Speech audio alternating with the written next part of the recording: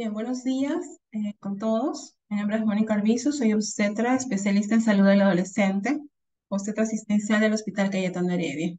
Agradezco la invitación para poder participar en esta teleconferencia y espero pues este, que podamos eh, conversar acerca de un tema sumamente importante y a veces bastante polémico, ¿no? Que es la salud sexual en adolescentes. Bien, como para poder eh, de repente ubicarnos un poquito, ¿no? Lo que adolescentes, qué es, quiénes son nuestros adolescentes.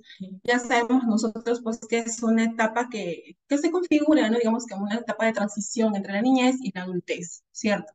Sin embargo, pues la Organización Mundial de la Salud define la adolescencia como un periodo de crecimiento que se produce después de la niñez y que va desde los 10 hasta los 19 años de edad. Y según el Ministerio de Salud en nuestro país, con una resolución ministerial en 2008, la cataloga como una etapa de vida que comprende los 12 hasta los 17 años con 11 meses, ¿no? Es decir, antes de cumplir la mayoría de edad. Y es este, así que se configura para poder, este, digamos, programar una serie de actividades y programas que van a incidir de alguna manera en la salud de nuestros adolescentes, ¿no? Y para que se puedan eh, configurar también, digamos, las políticas públicas a favor de la salud de nuestros adolescentes. ¿Y qué es la sexualidad, no? ¿Qué entendemos por sexualidad? ¿Qué la sexualidad? ¿Qué nos dice esa palabra, no? Y aquí vemos, pues, en las imágenes de estos adolescentes, de estos chicos, ¿no? Con una, una cara de sorpresa, de duda, de incertidumbre, o incluso hasta de temor, ¿no? Eh, para todos y cada uno de nosotros, pues, la adolescencia, depende de nuestro punto de vista, configura, pues, una, una palabra que hasta ciertos momentos puede ser significado de tabú, ¿no? De información que no siempre ha sido dada, eh, digamos, de manera oportuna, clara, precisa, ¿no? Y para eso estamos acá, para poder configurar qué cosa es la sexualidad. ¿Por qué hablamos de sexualidad? Porque es importante hablar de sexualidad con nuestros adolescentes.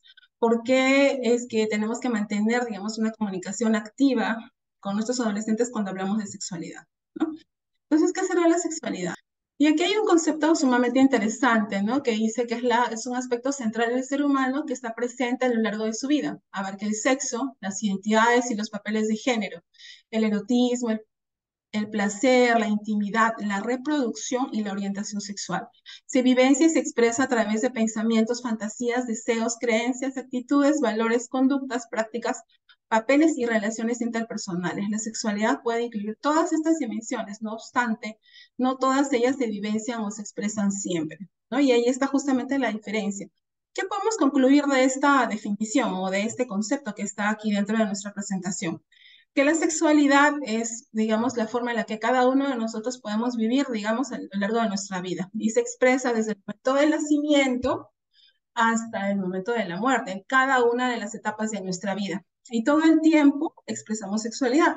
Cuando conversamos, cuando reímos, cuando abrazamos, cuando besamos, ¿no? En, la forma en la que nos sentamos, nuestra expresión corporal también es parte de nuestra sexualidad porque somos seres sexuados, ¿no? Entonces no hay ninguna actividad dentro de nuestra vida y en cada una de las etapas que no sea parte de nuestra sexualidad, ¿no? Entonces es, es un conjunto también de vivencias, ¿no? Que incluyen, digamos, este, la forma en la que expresamos nuestros sentimientos, las emociones, los roles de género. El erotismo, el placer, la intimidad, y también, pues, la, la actividad este, sexual y la reproducción, ¿no? Entonces, por eso es de que acá graficamos en esta pequeña enredadera cuáles vendrían a ser, digamos, este, las partes, ¿no? Los componentes de la sexualidad, cuáles son las dimensiones de la sexualidad que podemos nosotros también explorar. Y para hablar un poco de sexualidad, también es importante que podamos eh, saber qué cosas, cómo es que estamos aquí en Perú y a nivel mundial en relación a la salud sexual de nuestros adolescentes, ¿no?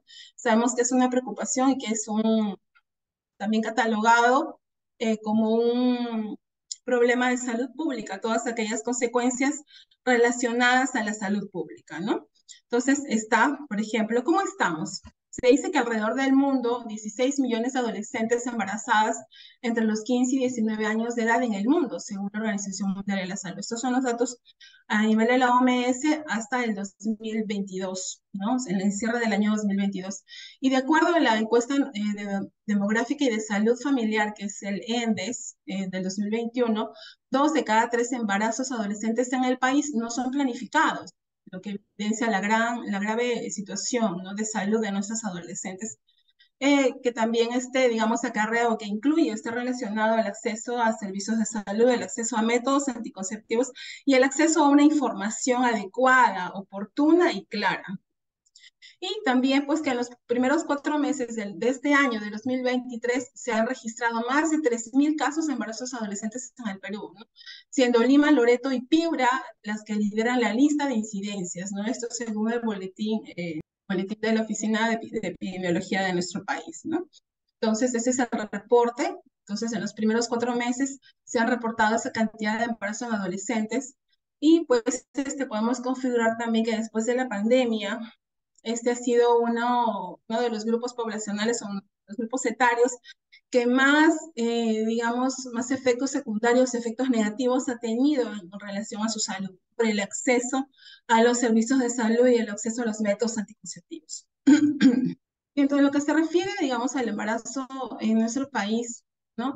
También eh, sabemos de que en el Perú cada día nacen cuatro niños a consecuencia de embarazos y partos de adolescentes de 10 a 14 años de edad y 133 nacidos vivos a consecuencia de embarazos y partos de adolescentes de 15 a 19 años. Entonces, esto más o menos hace una cifra de 11% del total de recién nacidos vivos registrados en los sistemas administrativos eh, de adolescentes, ¿no? Entonces, ahí podemos este, graficar y podemos inferir también de que el embarazo en adolescentes eh, sí es una situación, digamos, problema en lo que se refiere a salud pública y salud sexual para nuestros adolescentes. En el año 2022 se han registrado 50.313 recién nacidos vivos, ¿sí? Eh, eh, en adolescentes después de 10 a 19 años de edad y de las cuales 1.620 han correspondido a recién nacidos, es decir, a bebés de adolescentes de 10 a 14 años, ¿no? y lo que ha significado un incremento en 185 recién nacidos vivos en relación al 2021. Es decir, se ha considerado ya un aumento, un aumento que si bien es cierto podemos decir, bueno, pero son 185, no, es un aumento realmente significativo cuando realmente las políticas de nuestro país están orientadas a disminuir el embarazo en adolescentes y hay esfuerzos a nivel mundial e internacional. Incluso hay este, eh, mesas de trabajo multisectoriales para poder luchar, para, para, poder favorecer la prevención del embarazo en adolescentes y mejorar la salud sexual de nuestros Entonces, también es importante eh, recalcar en ese sentido, pues, ¿no? De que según las leyes peruanas, según la legislación peruana, según el Código Civil, perdón, el Código Penal, eh, las relaciones sexuales con una menor de 14 años de edad son consideradas una violación sexual, aún así hayan sido consentidas, entre comillas, por la adolescente, ¿no? Entonces, si es que tenemos una adolescente embarazada a los 14 años de edad, ya esto configura pues un delito, ¿no? Y respecto al último semestre de enero-septiembre de, este año 2023 se han registrado 809 recién nacidos vivos de adolescentes de 10 a 14 años de edad. Entonces, ahí podemos ver que el aumento sigue, a pesar de, de, las múltiples estrategias que se están trabajando, ¿no? Y tenemos pues que hacer un esfuerzo para poder identificar cuáles van a ser las, las, eh, las estrategias que se tienen que, eh, digamos, revisar o que se tienen que reevaluar para ver cuáles van a ser, eh, digamos, las nuevas propuestas para poder revertir esta situación que aqueja a nuestros adolescentes. ¿No? Y lo otro es la violencia también hacia nuestros adolescentes, la violencia sexual. ¿no? Los CEM, es decir, los Centros de Emergencia Mujer del Ministerio, eh, de la Mujer y Poblaciones Vulnerables, ha registrado de, enero a julio de 2023 17.178 casos de violencia sexual, de los cuales el 71% son casos de, violencia sexual hacia niñas, niños y adolescentes. Y esto tengamos en cuenta que es solamente la parte visible, ¿no? Y en aquellos casos que no son denunciados o aquellos de los cuales los familiares o los padres nunca se enteran, ¿no? Sino hasta después de muchos años, entonces es, ahí hay un subregistro definitivamente. Hay datos que no, no se están reflejando en la estadística nacional porque existe también todavía temor, ¿no? Temor, existe bastante vergüenza acerca de, este, digamos, el, el reflejar o el, evidenciar una, este, una una violencia sexual o un abuso sexual contra algún niño o contra algún adolescente. Y otro de los puntos que evalúa también la sexualidad de nuestros adolescentes es la mortalidad materna. Ya sabemos que el embarazo en adolescentes tiene una serie de complicaciones para con la salud de nuestros adolescentes y una de ellas, digamos, este, una de las complicaciones de los embarazos en las adolescentes también es el origen de la mortalidad materna. El, 439 eh, mujeres murieron durante el embarazo o en los 42 días siguientes al parto en el Perú, lo cual representaba el 45% respecto al 2019, ¿no? Estas cifras del año 2020. En total hubieron 439 muertes en nuestro país, más de 137 en relación al año 2019, ¿no? Entonces, este, ahí pues este, justamente es el año de la pandemia, ¿no? es el año en el cual eh, los centros y puestos de salud dejaron de atender. Es decir, este, el primer punto de contención, de atención, de contacto eh, para nuestra población adolescente y para la población adulta fueron son los establecimientos de salud de primer nivel, los centros y puestos de salud, que justamente fueron los que dejaron de atender. Y en el 2021 este, esta cifra aumentó a 493, lo cual ha representado un incremento de 191 muertes, más de 63% en relación al 2019 y un incremento de 54 muertes en relación al año 2020 con fluctuaciones entre el primer y segundo semestre, ¿no? Y esto es en lo que se refiere, digamos, eh, a, a, políticas que, que, en realidad pues no han sido, bien trabajadas a lo largo de, de la pandemia. ¿Y cómo es que nosotros podemos de alguna manera, eh, digamos, hacer un resguardo de la salud sexual de nuestros adolescentes? ¿Qué tendríamos que hacer para que ellos, digamos, puedan tener una salud sexual, para la redundancia, saludable, ¿no? Eh, responsable, placentera también, pero dentro de los márgenes de la responsabilidad.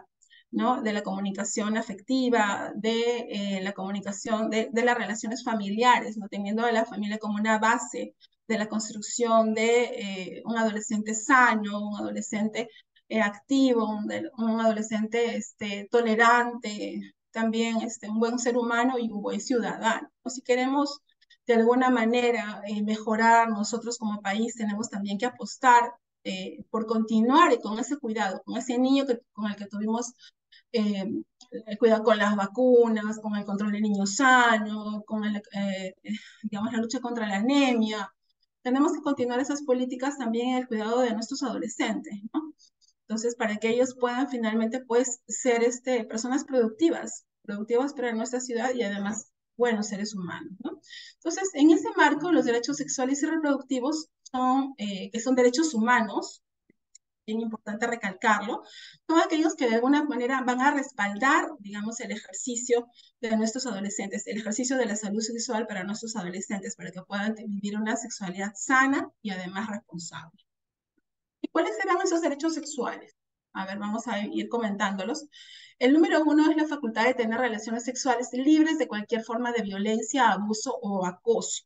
¿no? Y esto es bien importante, ¿no? Porque esto, digamos, este se, eh, se condice ¿no? y es coherente con la política de resguardo de la, de la libertad sexual, ¿no? por la cual este, el Estado peruano también tiene que resguardar, digamos, este, eh, a nuestros adolescentes, ¿no? Y también este, pues, este, ejercer, digamos, una presión y una sanción a aquellos que, que digamos, que violen este, este derecho, ¿no? Entonces, Ningún adolescente puede ser coaccionado, puede ser chantajeado, puede ser abusado, ¿no? De alguna manera para poder tener relaciones sexuales, ¿no? Entonces, el poder decidir en qué momento, cuándo y cómo es un derecho sexual de nuestros adolescentes. El punto número dos habla del ejercicio de una sexualidad libre y placentera, independiente de la reproducción y sin riesgo para la salud y la vida. Y esto perdón, tiene mucho que ver además con también el, digamos, la provisión de los métodos anticonceptivos, ¿no? Para poder ejercer una sexualidad libre y placentera, el adolescente tiene que estar informado, tiene que tener acceso a la información. Si bien es cierto, estamos en una era digital, en una era en la que la información pues está en todos lados, Debemos, también tener presente que no toda esa información es información fidedigna, es, es información acertada o es información que respalde, digamos, un, evidencia científica, ¿no? Entonces, ahí es donde entra a tallar, pues, este, eh, los servicios de salud y las escuelas, ¿no? Las instituciones educativas y los establecimientos de salud de primer nivel, segundo y tercer nivel, de acuerdo a la complejidad, también deben de innovar propuestas para poder este, comunicar y para poder informar a los adolescentes y adecuarse a las estrategias digitales que usan ellos, ¿no? Entonces, para poder este, informar, para poder acceder a una información veraz y además oportuna. Entonces, están los talks, está el Instagram, está el Facebook, ¿no? Ahora con esta era del TikTok, entonces llegamos a todo, a todo lugar, ¿no? Entonces, no hay adolescente que no haya visto o que no se interese por el, por el TikTok. Aún así lo puede ver y es, un, es una estrategia bastante válida y bastante acertada como para poder difundir información. Y por otro lado está el acceso a una educación en sexualidad que sea oportuna, integral, gradual, científica y con enfoque de género. Y aquí las escuelas tienen un rol, tienen un rol bastante importante, ¿no? Eh, si bien es cierto, cierto, tenemos la educación sexual integral, esta educación sexual integral que ya forma parte del proyecto educativo nacional, porque está ya insertado, está eh, articulado, tiene también que ser coherente pues en cada una de las de las unidades de gestión educativa, de las UGELs, de las instituciones educativas, de, la, de cada una de las localidades, tiene que también graficarse y ser concreta en cada uno de los proyectos educativos de cada institución educativa, es decir, el famoso PI. Y para esto los docentes y la comunidad educativa tiene que ser pues un, eh, tiene que ejercer un liderazgo para poder asegurar una educación sexual integral, pero también tiene que asociarse y tiene que liderar este proceso con eh, los establecimientos de salud para poder tener el sustento técnico, ¿no? Para que sus docentes puedan estar capacitados y sensibilizados acerca de la importancia de hablar de sexualidad con los adolescentes en clase, ¿no? Entonces, ¿por qué qué hacemos nosotros si tenemos de repente, es cierto, los adolescentes la gran, tienen gran parte del día o de horas dentro del colegio, dentro de la escuela? Entonces, eh, están cautivos dentro de la institución educativa y podemos dentro de la institución educativa ejercer una serie de políticas para poder informarlos y para poder generar actitudes y comportamientos saludables en relación a la sexualidad. Pero para eso nuestros docentes tienen que estar empoderados, tienen que estar eh, capacitados, tienen que estar sensibilizados y tienen que ejercer además un liderazgo clave y trabajar sobre sí mismos también, ¿no? Es decir, dejar de lado sus tabúes personales, sus creencias, es decir, por ejemplo, yo, si fuera docente, ¿no? Dejar de ser yo, Mónica, mis pensamientos, mis actitudes, mis impresiones, dejarlas de lado para poder trabajar con esos adolescentes dentro del aula, todo lo que se refiere al cuidado de la salud sexual. Y tener también, además de la mano, aquel profesional de la salud, eh, de un establecimiento de salud que lo pueda acompañar en ese proceso técnico, ¿no? Entonces, eh, definitivamente que ahí hay una evidencia que es exitosa, ¿no? La evidencia en la que, digamos, acompaña el establecimiento de salud, ya sea de la localidad o de la zona, ¿no? Al, eh, a la institución educativa para poder generar un agente de cambio, ¿no? Eh, también tenemos el respeto de las personas a su preferencia sexual y esto es sumamente importante, ¿no? Estamos en una era en la cual, pues, este, existe bastante, así como, como hemos innovado en lo que se refiere a tecnologías de la información, también se evidencia bastante resistencia, ¿no? A, respetar las preferencias sexuales de las personas, ¿no? Entonces, ahí sí hay un ejercicio que también tenemos que trabajar, ¿no? Respetar la, la preferencia sexual y la orientación sexual de cada uno de nuestros adolescentes. Lo otro, contar con información y servicios de prevención y tratamiento de las infecciones de transmisión sexual, que son las ITS, incluyendo el VIH y el SIDA.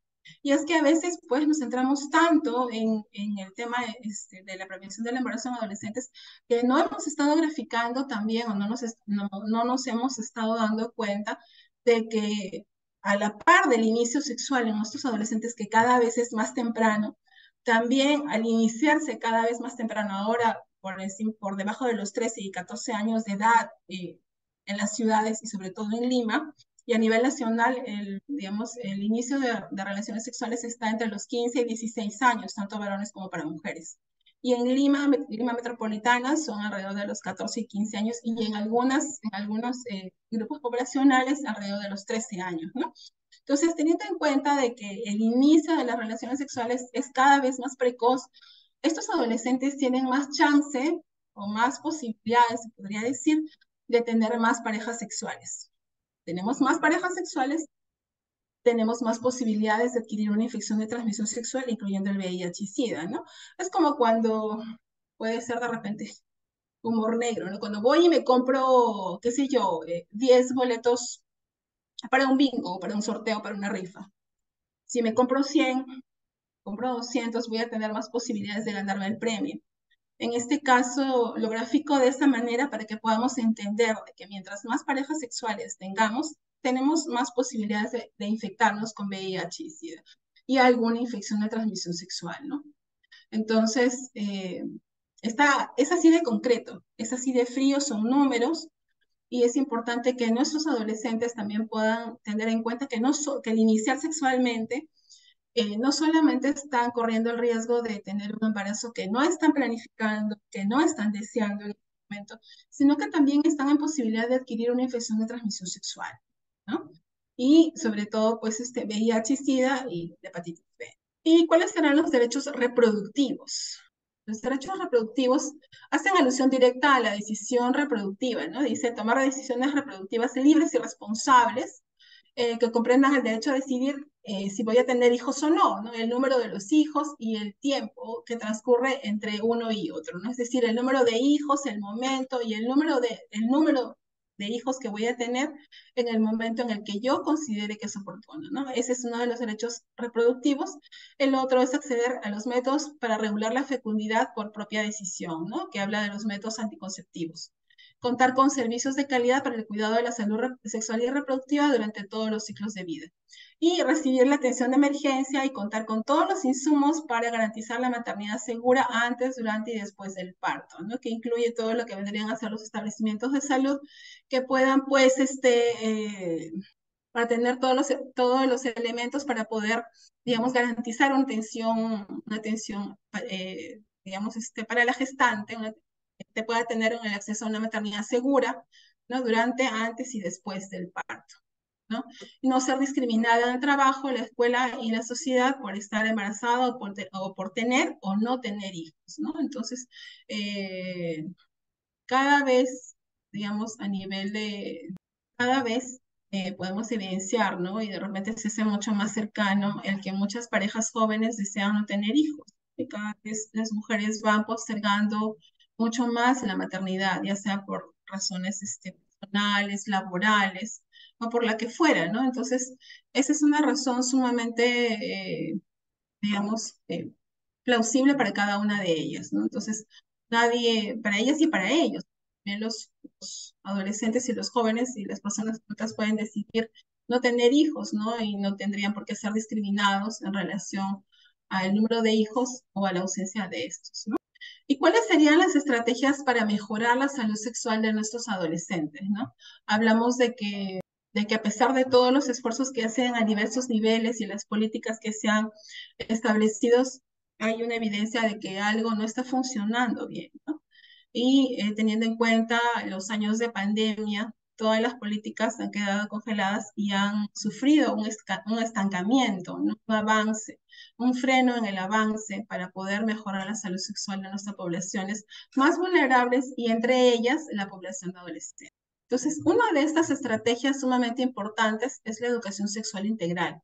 ¿no? Yo sé que hay una serie de, de repente, de, de ideas o de propuestas hay de por sí ya colectivos que eh, trabajan acerca de, o están en contra, por decirlo así, de la educación sexual integral en las escuelas, ¿no? en las instituciones educativas.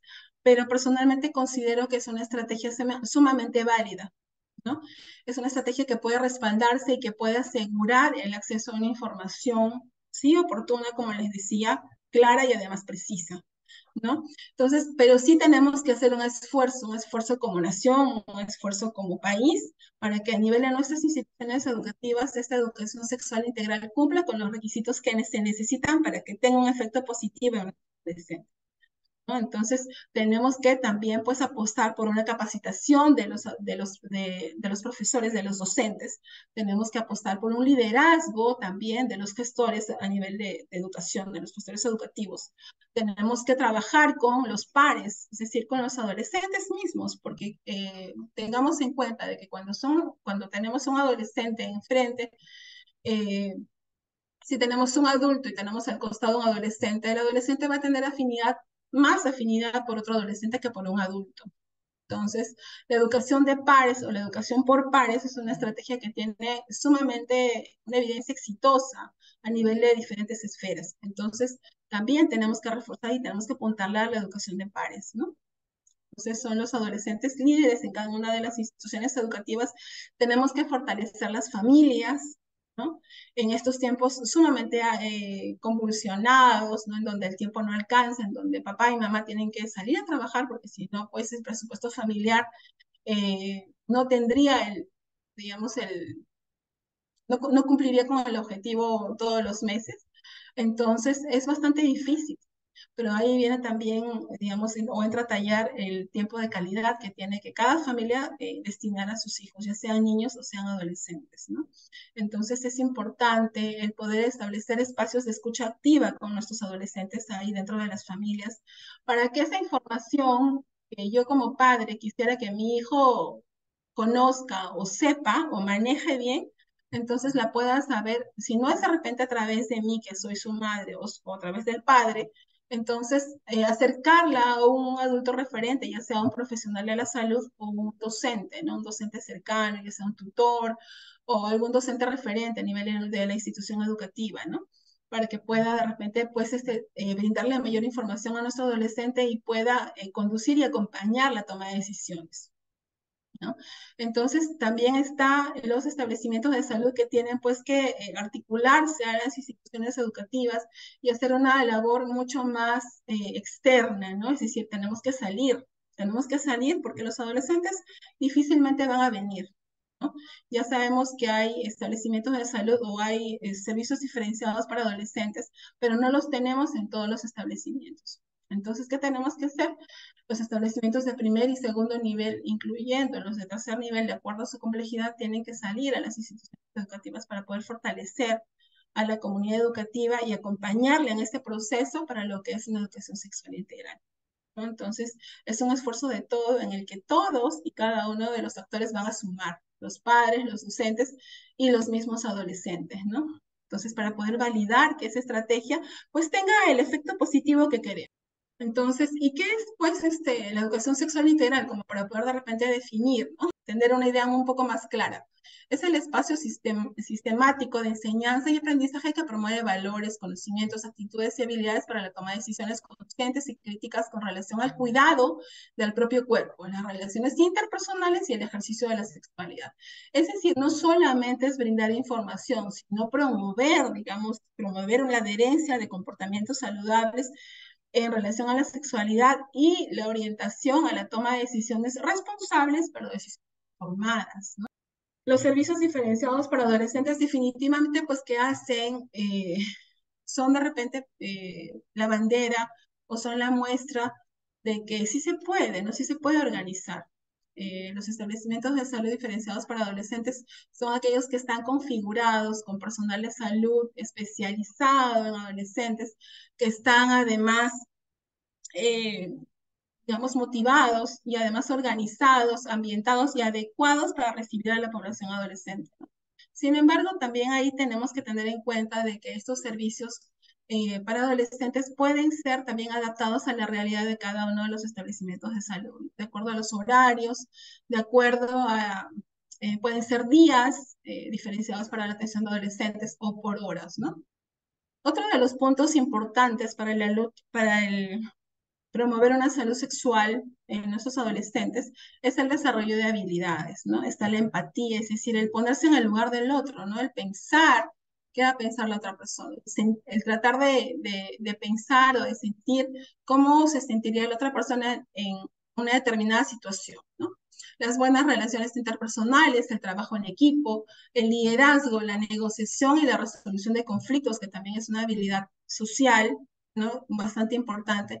La asertividad, que saber, saber decir las cosas eh, respetando nuestros derechos, nuestras ideas, pero también el de la otra persona, ¿no? El, el, interlocutor, el de la otra persona con quien estamos conversando, ¿no?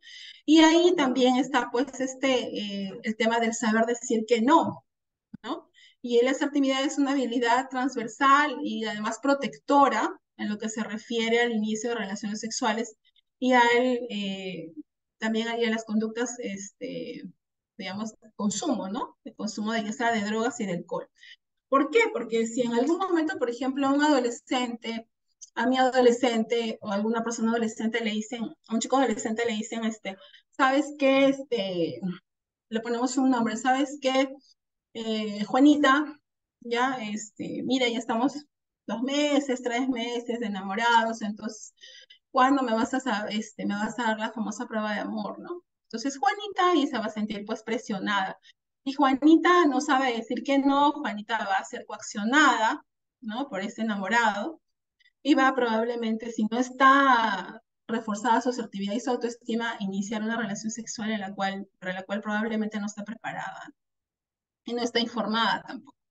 Entonces, pero sí, Juanita es una chica asertiva, una chica este, que tiene una buena autoestima, una autoestima saludable, entonces le va a decir no, y si el enamorado pues le dice, sabes qué, bueno, entonces si no quieres tener relaciones sexuales conmigo, si no quieres estar conmigo, entonces terminamos. Juanita tenga la suficiente fortaleza como para decirle, está bien, ¿no? Porque si tú no quieres esperar o si tú no sabes respetar mi decisión, entonces no eres una persona que, que valga la pena, ¿no? Entonces, tenga esa seguridad y de pensar, pues, que no va a ser el último, de repente, o el único amor en su vida, ¿no? Sino que va a venir una persona que pueda respetar sus decisiones, que pueda impulsar incluso su desarrollo como persona y este, como ser humano, ¿no? Alguien que tenga un proyecto de vida similar, alguien que tenga habilidades, cualidades y que tenga también capacidades y que pueda ser como un modelo o un referente para ella o para él. Alguien que inspire o que le inspire a ser mejor. Entonces, eso es lo que tenemos que trabajar con nuestros adolescentes, ¿no? Entonces, alguien que, la, aquella pareja o aquella persona, no pensando en el tema físico, sino en, aquella, en aquellas habilidades que puedan, digamos, este, eh, completar, digamos, su desarrollo personal, ¿no? Puedan sumar a su vida y no restar, ¿no? Y la comunicación, ¿no? La comunicación que siempre tiene que ser efectiva, el saber escuchar, el poder este, eh, ser un buen interlocutor también es una habilidad que tienen que desarrollar nuestros adolescentes, ¿no? En medio de tanto alboroto y de tanta ebullición de hormonas, ellos sí pueden hacerlo, tienen habilidades, tenemos que reconocerlas y tenemos que tener una actitud positiva también hacia ellos. Y las habilidades personales, y dentro de las cuales una de las más importantes consideramos, bueno, considero yo y también eh, se refuerza pues por la evidencia científica, es la, auto, es la autoestima y la, y la autoconfianza, además del autoconocimiento, ¿no? partes del auto. Entonces, la autoestima, ¿por qué? Porque si yo valoro que soy una persona, ya sea pues que tengo una serie de competencias, que tengo habilidades, tengo virtudes, y así como tengo virtudes, también tengo eh, aspectos o tengo defectos que tengo que mejorar. Entonces, soy consciente de que soy una persona, pues que puede salir adelante, que soy este, una buena persona, ¿no? Entonces, que soy conocedora de mis habilidades, de mis destrezas y que puedo mejorar. Entonces, esa seguridad, esa, autoconfianza y ese autoconocimiento van a hacer de que yo tenga un factor protector, eh, digamos, en relación al inicio de relaciones sexuales o, digamos, también a la, en relación a la, a la, un factor protector contra las infecciones de transmisión sexual y un embarazo no deseado o no planificado. El pensamiento crítico, ¿no? que si bien es siempre bien importante el poder este, evaluar, el poder analizar, digamos, una situación antes de tomar una decisión. Y el pensamiento crítico, pues, forma parte esencial de lo que se refiere a la toma de decisiones. Es decir, yo primero analizo la situación, eh, establezco una, una relación de pensamiento crítico y luego tomo una decisión, una decisión formada, una decisión responsable, pero finalmente crítica frente a una situación. ¿no? La actitud positiva es sumamente importante, la proactividad, ¿no? La resiliencia, el salir airoso incluso frente a la adversidad, ¿no? La gestión del tiempo. Sea, nuestros adolescentes siempre piensan, pues, de que de repente, este, no, tengo cinco minutos para llegar al colegio, no, sí, sí la hago, no, sí, sí llego, ¿no? Entonces, la gestión del tiempo también es importante trabajarla con ellos como una habilidad personal, ¿no? Y la perseverancia para poder lograr cada una de las metas que ellos se puedan hacer a lo largo de su vida, ¿no? Y la perseverancia en relación también al proyecto de vida personal de cada uno de nuestros adolescentes. Tenemos en cuenta de que si trabajamos una, un plan de vida, un proyecto personal, entonces vamos a también tener en cuenta que nuestros adolescentes van a tener una visión de su futuro, ¿no?